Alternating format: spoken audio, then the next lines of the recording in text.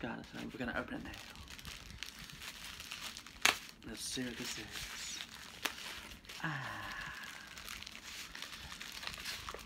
They package it well, even though it's really, like, pretty durable.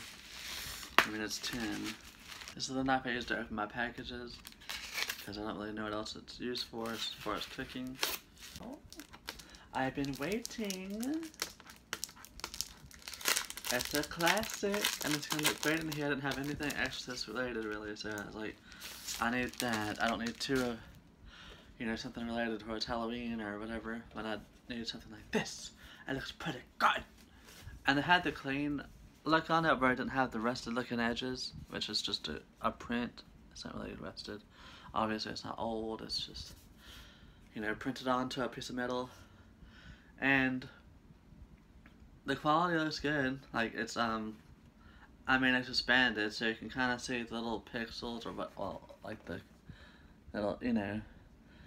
Uh, but it's good, and it's you know it's gonna look really good in here, and it's the cover for the VHS.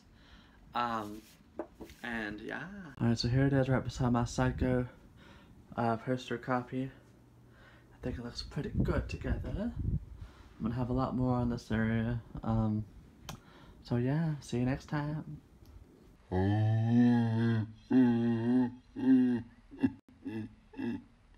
Fuck me.